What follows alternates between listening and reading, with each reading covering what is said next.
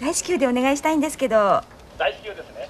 はいかしこまりました。さあ練習しましょう。いやでもあああでも練習してもダメだと思いますけど。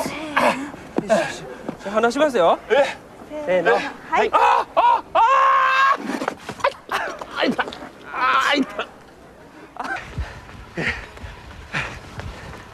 おい早く早く。よし走ってもダメだと思いますけどあ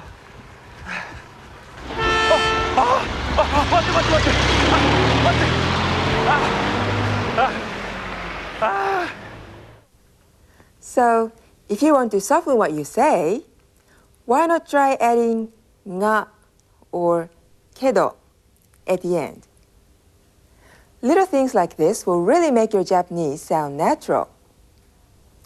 Right, now let's look back at some scenes where we glimpse Japanese life from quite a different angle.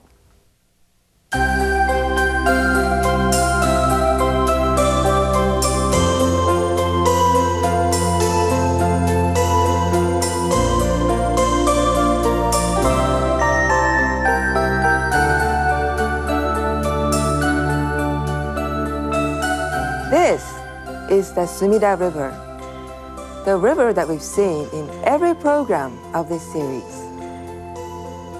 We've seen how the lives of the people here revolve around the Sumida River and how it has flowed through Yan's life in the second period of his stay in Japan.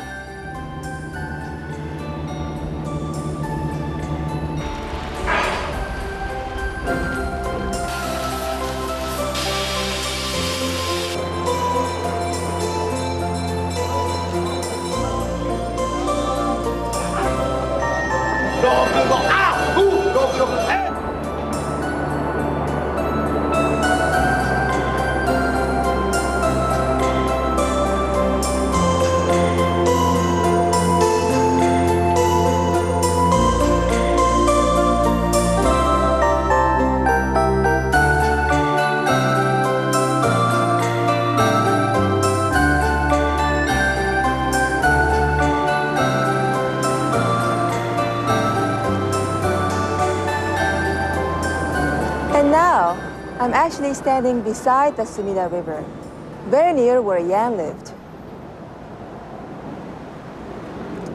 As the river flows on, let's watch the final episode of Yan's story one last time.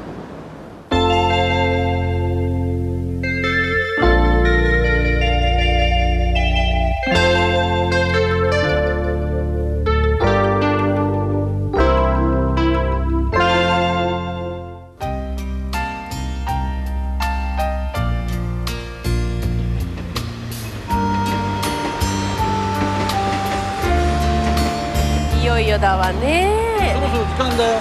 あら。お母さんこれいつ渡すの？ヤンさんが来た時に渡してね。わかった。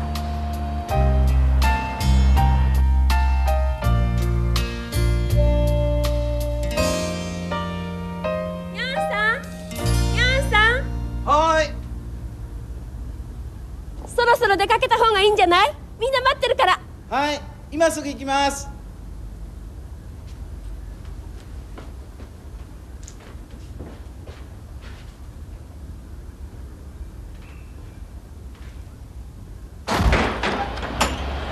ごめんなさいねこんなに大きなトラックで。そんなことないですよ。大助かりです。うちの人ねヤンさんの荷物は絶対に俺が運ぶんだって大張り切りなのよ。我慢してね。とんでもない。おじさんおばさん本当にいろいろお世話になりました。何よそんな改まって。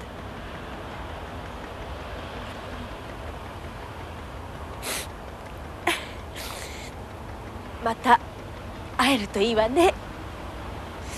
また会えますよきっと。おばさん体に気をつけてくださいよ。ヤンさんも無理しちゃダメよはい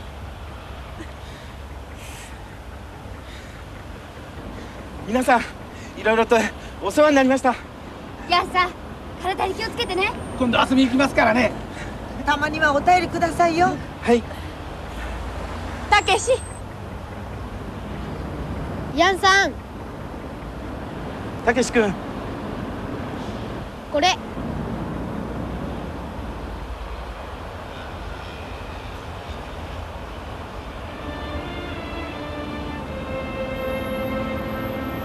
りがとう。たけし君。元気でね。うん。かずちゃんいろいろありがとう。ヤンさんさようなら。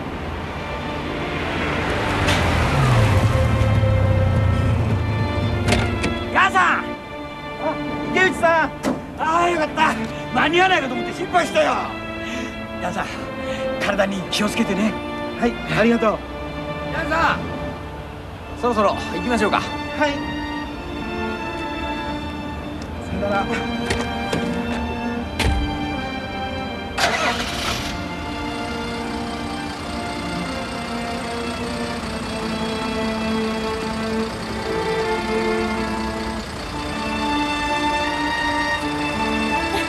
さあさあさあ。ヤンさん日本に来た時は必ず寄ってくださいよはい。じゃあ皆さんお元気で。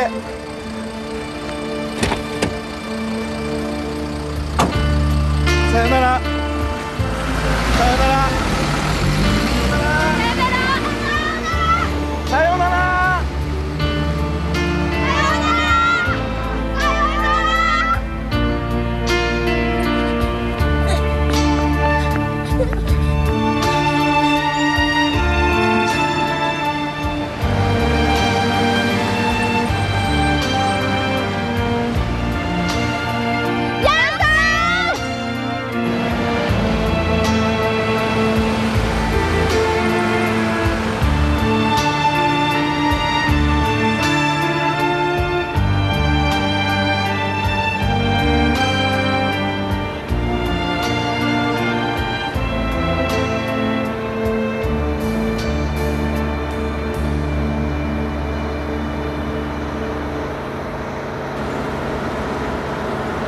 あれ？寺田さんじゃないかな？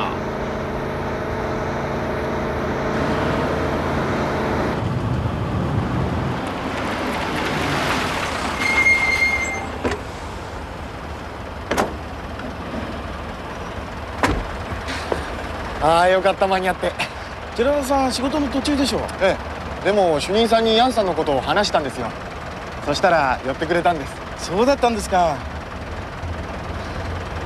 ヤンさん頑張ってくださいよ。寺田さんもね。ええ。来年は大学の試験受けてみるつもりです。合格するといいですね。ヤンさんと会えて本当に良かったと思っています。ありがとうございました